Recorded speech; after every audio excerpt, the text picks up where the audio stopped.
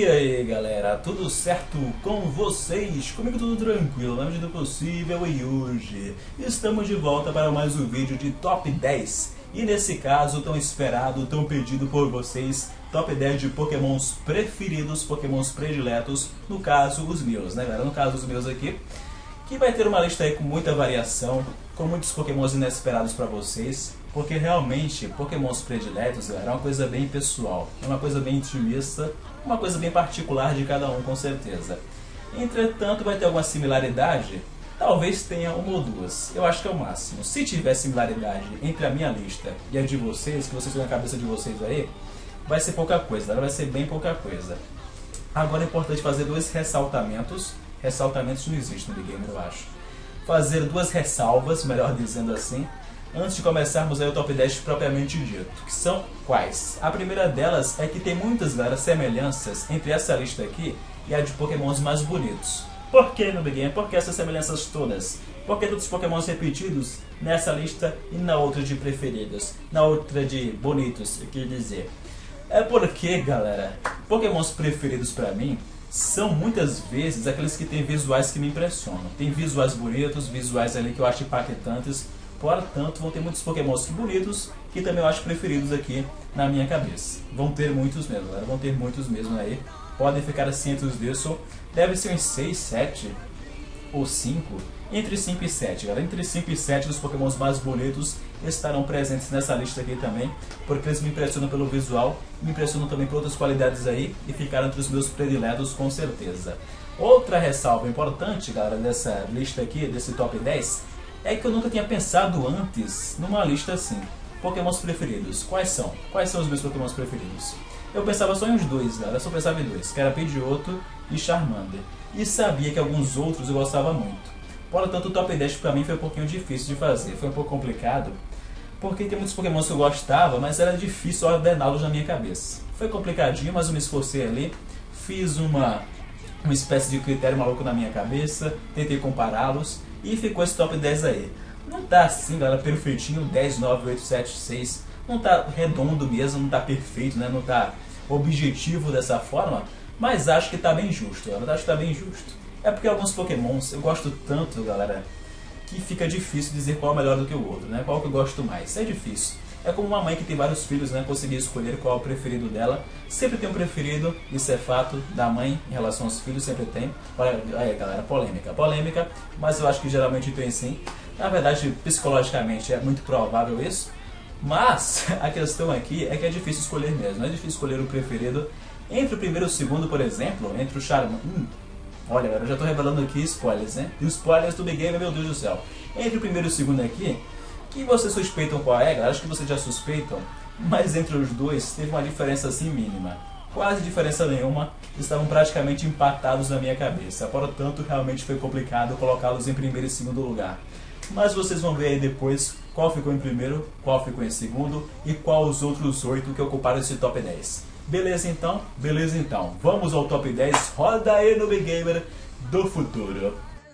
Em décimo lugar, galera, nós temos o Kingdra. Olha só o Kingdra aqui.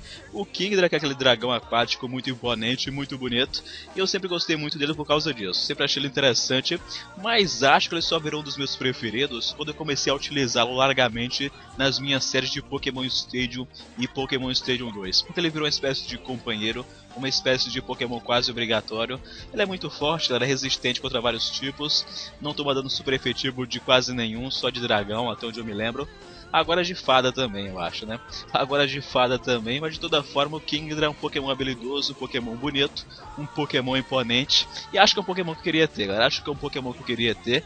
E por isso, Kingdra ocupa aqui a nossa décima posição, sendo, olha só, o único representante desse top 10 que não pertence à primeira geração. Parabéns ao Kingdra por isso, né, galera? Porque eu sou muito adepto da primeira geração, vocês sabem por quê. Então, Kingdra aí, por sua habilidade, por sua imponência, por sua beleza, por seu visual interessante, conseguiu ficar entre os 10, mesmo não sendo da geração 1. Parabéns ao Kingdra, décimo lugar para ele, merecidíssimo. Então, galera, na nona posição nós temos o Kingler, que deve ser o Pokémon mais diferente nesse top 10. O Pokémon que menos frequenta a lista de Pokémons favoritos dentre todos que eu vou falar aqui. Com certeza, galera, com certeza eu acho que é o Kingler mesmo. Por que, que eu gosto tanto do Kingler, galera? É difícil até explicar. Eu assisti um anime e no episódio aí qualquer, eu acho que é na Liga Pokémon, o Ash pega um Crab e o Crab rapidamente, depois de alguns episódios, quase em sequência, evolui para Kingler de uma maneira bem épica. Uma batalha bem complicada, sem o Ash treinar muito, mas o Kingler se mostra muito poderoso, muito forte, e eu gostei do visual dele. Talvez essa mistura de coisas, galera, essa impressão que ele me deu no anime, tenha me feito simpatizar. É um pouco complicado explicar porque eu gosto do Kingler, galera, é um pouco complicado, mas eu gosto. Sempre gostei bastante dele, sempre simpatizou muito. Não é um Pokémon que eu queira tanto utilizar, não é um Pokémon que eu queira tanto utilizar, mas é um Pokémon que quando eu gosto eu lembro da minha infância e tal. É um Pokémon que realmente remete uma nostalgia interessante e deve ser isso que me faz gostar tanto do Kingler e colocá-lo na nossa lista aqui na nona posição. Em oitavo lugar, galera, nós temos nada mais, nada menos que a Ponyta, um cavalo de fogo. Precisa dizer mais, galera? Eu acho que não. Eu acho que não, porque um cavalo de fogo é um cavalo, por um lado, né? Obviamente. E o cavalo é um bicho companheiro, é um bicho que está ali para você.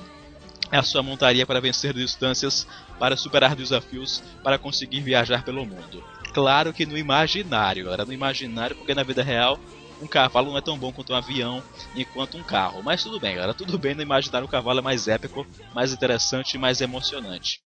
E além de ser cavalo, o elemento fogo já me chama muita atenção porque é um elemento dinâmico, um elemento né, que causa destruição também.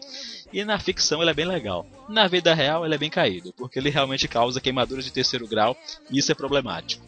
Mas na ficção, galera, o fogo realmente impressiona. E um cavalo que tem a crina de fogo, galera, é impressionante, é muito legal. Quem não se imaginou aí, galera, quem assistiu o anime, a primeira temporada, e não se imaginou montando na Ponyta e saindo por aí? Eu me imaginei, galera, eu me imaginei, admito isso. Mas também tem o Rapidash, né? E o, e o Rapidash do Big Game, que é um cavalo ainda mais é, imponente, mais alto, mais bonito, até, para alguns pelo menos, com um chifrinho ali. É, galera, o Rapidash é muito bonito. Mas a Ponyta eu acho que eu tenho mais carinho por ela, mais afeição. Por isso ela fica na oitava posição. Em sétimo lugar, galera, aparece a Starmie, né? E por que eu gosto da Starmie? Porque é um animal exótico, mas ainda assim bonito, galera, imponente também e muito forte, muito forte. Sempre foi uma junção interessante lá de psíquico e água, portanto eu sempre gostei da Starmie, sempre achei ela poderosa, dinâmica e versátil, por assim dizer também, né galera? Porque a Starmie consegue se dar bem em várias situações e vários contextos, e é um Pokémon realmente bonito. Eu queria ter uma Starmie, agora eu queria ter uma Starmie porque é um Pokémon que você joga e ele fica realmente. Já! Ele já chega galera com ímpeto, né? A Starmie é um Pokémon com aqueles ninja dele que ele dá, aqueles. Aquelas falinhas ninja, né, que ele diz quando sai da Pokébola, porque ele não fala Starmie, galera, ele faz um ele é meio Kung Fu, né? Isso é legal também porque parece que ele tá sempre pronto para batalha, imponente, forte e realmente unido ao seu treinador, unido no espírito da vitória. É, eu inventei um pouco disso, eu inventei um pouco disso, né? Mas a ideia é mais ou menos essa aí. A Starmie, além de ser bonita, tem um visual legal, é poderosa, é forte, eu acho que ela impressiona e é por isso que ela está na nossa sétima posição. Em sexto lugar, galera, aparece a Ninetales, que é um Pokémon bonito, um Pokémon com porte interessante, um Pokémon simpático e um Pokémon que lembra um animal de quatro patas de pequeno porte. Como assim, no Big Gamer? Eu sempre gostei galera, de animais de pequeno porte de quatro patas, tipo gato, cachorro. E a Ninetales é esse tipo de animal, né? Tanto que o meu animal preferido é lobo. Eu gosto muito de lobos. E a Ninetales não lembra um lobo, lembra uma raposa, mas mesmo assim ela parece uma companheira assim, uma tipo de cão que fica seguindo você de alguma forma, por isso eu acho ela bem legal. Além do que ela é de fogo também, que é praticamente o meu tipo preferido de pokémons. Não sei se é o meu tipo preferido, mas é o tipo que eu tenho mais pokémons preferidos eu acho, se eu contar todos. Não só o top 10 aqui, mas todos os pokémons eu acho que seriam os de fogo os meus prediletos.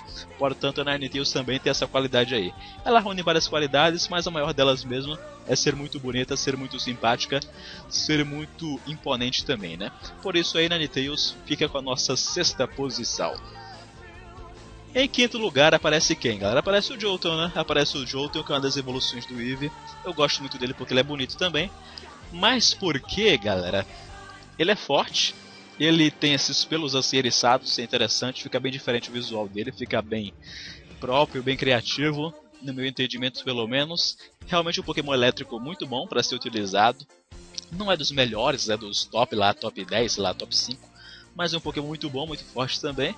E ele também lembra, galera, um pouquinho retomando aqui a questão da Ninetales, um cachorro, né? É um Pokémon de quatro patas, pequenininho, pequeno porte e que parece um companheiro de viagens, um companheiro de aventuras que seria muito fiel ao seu mestre, ao seu treinador. Por essas qualidades, eu queria muito ter um Jotun aqui, galera. Eu queria ter um Jotun, queria ter um Jotun no lugar do meu cachorro. Eu não tenho um cachorro, na verdade, então não queria trocá-lo, né? Se eu quisesse adquirir um cachorro, eu poderia adquirir um Jotun. Claro, supondo que ele existisse, né? Mas enfim, vocês entenderam a lógica aí. Era um Pokémon, galera, que eu realmente queria andar por aí com ele. Eu na frente e o Jotun atrás. Seria legal, galera. Seria legal e seria útil, né? Contra bandidos, contra marginais. Seria bem interessante ter um Jotun aí. Mas é isso. É por isso que tá na quinta posição, porque é um Pokémon realmente que eu queria ter comigo. Bonito, simpático, imponente, forte. E aqui, galera, na quarta posição, começam as barbadas, né? Começam os pokémons que vocês poderiam adivinhar que eu iria escolher aqui e colocar nessa lista. Porque o Hitmonlee é um Pokémon bem esperado, já que eu elogio ele toda vez que eu utilizo em Pokémon Stadium, quando eu pego lá em Pokémon Fire Red, eu quase sempre digo que gosto muito dele. Portanto, é um Pokémon, galera, realmente que é um dos meus prediletos. Entre os lutadores, é realmente o meu preferido, não tem para ninguém, porque ele é criativo. Ele não é exatamente bonito, mas tem um visual, galera, legal tem um visual bem criativo, tem um visual bem interessante e ele utiliza as pernas para atacar. O que é algo que eu sempre achei bem legal. Mão, galera, dar soco com a mão, dar soco com o pé é difícil no game, é soco só é com a mão mesmo. Dar soco, galera, é algo muito recorrente, né? É legal sair dando soco, né? Lutador tem que dar soco às vezes, sim. Mas, galera, chutar é algo realmente que tem mais amplitude, que tem mais beleza, mais visual, sei lá. É algo que chama mais atenção os chutes. Fora tudo também tem essa qualidade aí do Hitmonlee. E é isso, galera, eu gosto dele. Uma coisa dele também é que ele não tem boca, o que deixa ele, quer dizer, deve ter uma boca aí escondida em algum canto, mas ele não tem boca assim visualmente aparente, o que deixa ela com um visual ainda mais diferenciado e mais pessoal, galera, mais personalizado. Por isso também eu acho ele bem interessante, bem forte. E ele é bastante forte também, galera. Bastante rápido, bastante habilidoso. É um Pokémon bem interessante para se ter na, na sua equipe. Um Pokémon bem recomendável mesmo. Portanto, gosto muito de Hitmonlee. Se eu pudesse ser um Pokémon lutador, com certeza eu escolheria ele como um dos principais, como meu predileto. Tá aí, quarta posição para ele então. E em terceiro lugar, galera, nós temos o Lapras, né? Que não poderia faltar nessa lista, até porque é o Pokémon que eu acho mais bonito. Só isso, era só isso já bastaria para estar tá aqui, né? Só isso já bastaria para estar tá aqui. Mas além disso, o Lapras, além de ser bonito, é simpático. Lembra, galera, do Lapras do Oeste? Parecia muito brother, né? Parecia muito companheiro, parecia muito fiel. E de fato, essa impressão que ele passa para mim. E além do que, ele é poderoso, galera. Não é um Pokémon fraquinho.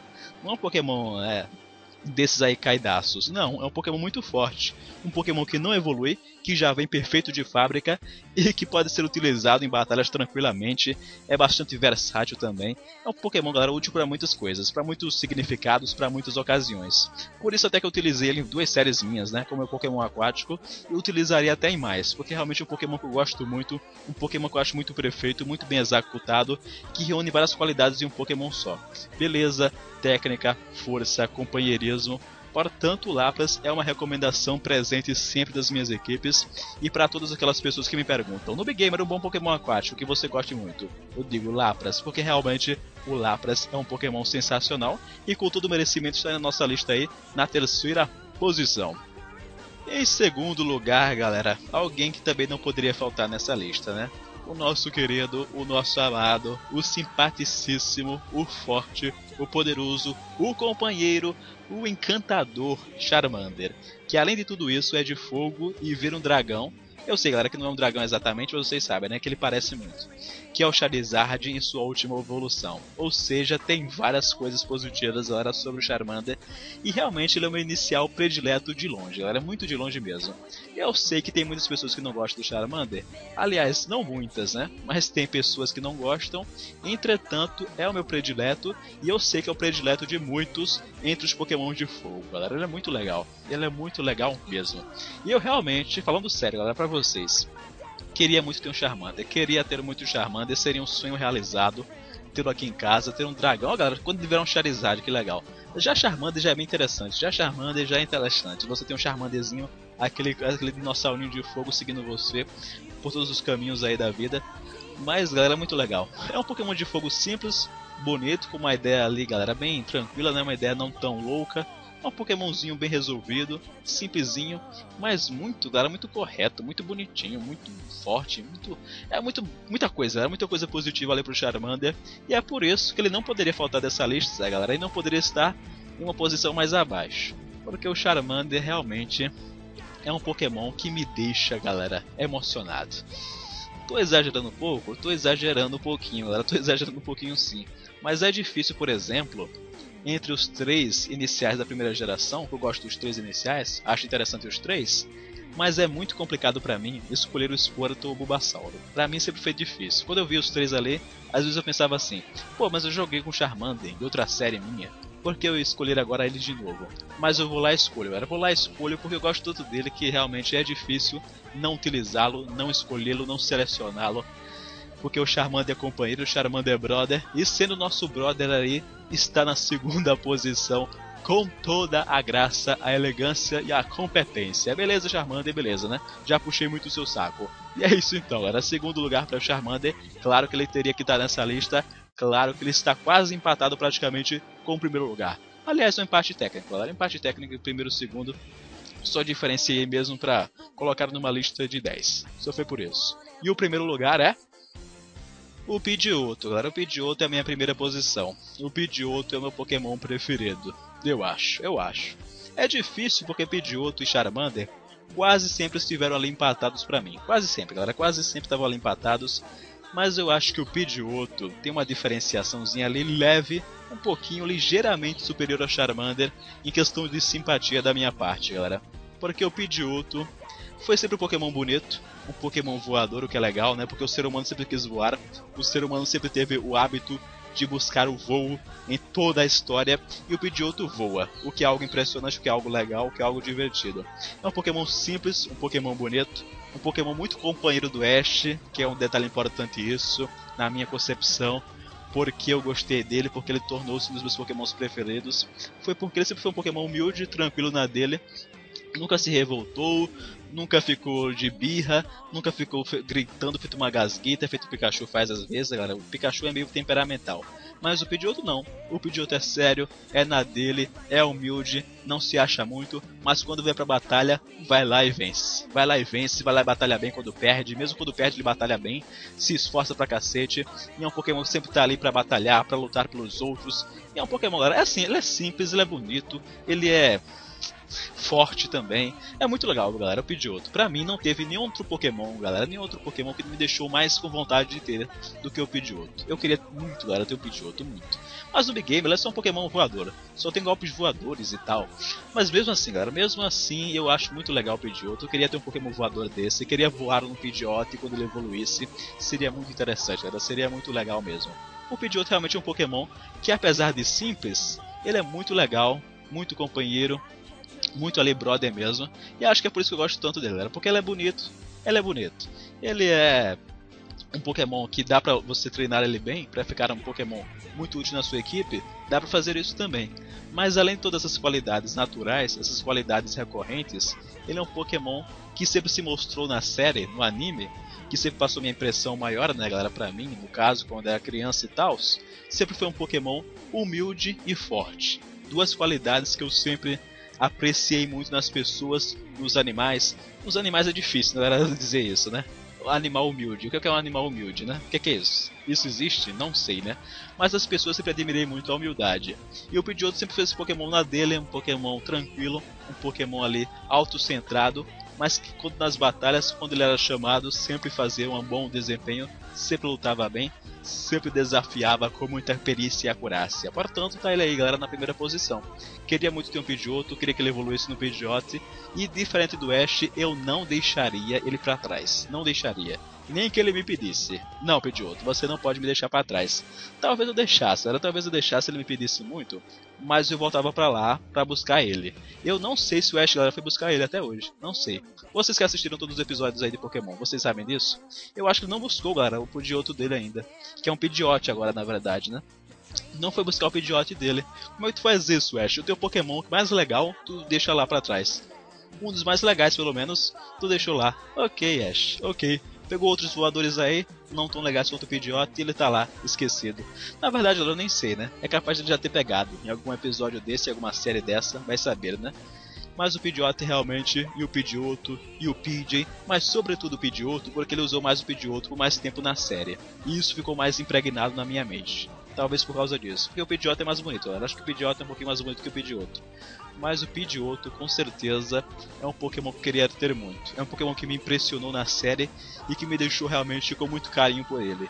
E é por isso que ele está na nossa primeira posição aí, com toda a magnanimidade da sua potência. Oi? O que eu estou querendo dizer com isso? Não sei. Só sei que foi merecidíssima a primeira posição para o Pidgeotto, que realmente, por uma levíssima, uma quase ínfima vantagem, venceu o Charmander e é meu Pokémon preferido, meu Pokémon predileto, com toda a certeza. É isso aí, Pidgeotto. É isso aí. E acabou, galera. Acabou meu top 10 aqui. Até o próximo. Então é isso, galera. Esse foi aí meu top 10 de pokémons preferidos. Vejam só quantas diferenças aí em relação a vocês, né? Deve ter tido muitas. Aliás, galera, coloquem a opinião de vocês, né? Como sempre, porque nesse vídeo aqui ela é mais interessante ainda, já que pokémons preferidos são bem variados mesmo depende realmente da opinião de cada um extremamente. Aliás, depende não, galera, depende não. São completamente submetidos à opinião das pessoas, né? Porque Pokémon preferido é aquela coisa, você prefere porque você gosta, só por isso. E gostar é um sentimento abstrato pra cacete, né? Vocês sabem disso, eu sei disso, todo mundo sabe disso. Mas beleza então. Coloquem aí também, galera, se puderem, um Pokémon dessa lista aqui que eu fiz, desse meu top 10, que vocês acham esquisitíssimo que não quedaria na lista de vocês de pokémons preferidos. Por exemplo, Noob Gamer, eu não colocaria na lista nunca o Kingler, por exemplo. Nunca colocaria na minha lista. Aí vocês coloquem aí também nos comentários que eu quero saber disso. Qual o Pokémon mais maluco aí pra vocês, que vocês nunca incluiriam na sua lista de pokémons preferidos, mas que eu incluí no meu top 10 aqui nesse top 10 que eu fiz pra vocês. Beleza então, galera? Beleza então. Muito obrigado por ter assistido. Se gostaram, vocês já sabem, né? Cliquem em gostei. E se puderem também, favoritem e compartilhem que isso ajuda demais na divulgação do canal e eu agradeço. E se não tiverem inscritos, inscrevam-se aqui embaixo para receber mais vídeos como esse e como outros que eu venho trazer aqui no canal O Noob Gamer, incluindo aí novos top 10 com certeza, porque esse vídeo, apesar de trabalhoso, é legal de fazer. Beleza, galera? Certo, dá tudo certinho. Então agora eu me despeço, um grande abraço, fui. Mas na verdade, galera, antes de eu ir, antes de eu ir, se tivesse alguma coisa preferida em Pokémon que eu pudesse falar, não restringindo apenas aos Pokémons, eu diria o que? Eu diria o que? A coisa preferida para mim em Pokémon é claro que é você, Enfermeira Joy. Um grande beijo. Não poderia esquecer de mencioná-la. ok, galera, beleza então. Agora sim eu me despeço realmente. Um grande abraço. Tchau.